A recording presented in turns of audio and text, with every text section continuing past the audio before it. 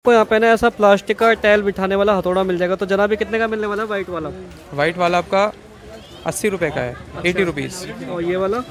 Orange वाला आपको सौ रुपये का पड़ेगा ये वाला मिल जाएगा सौ रुपये का आपको ठीक है।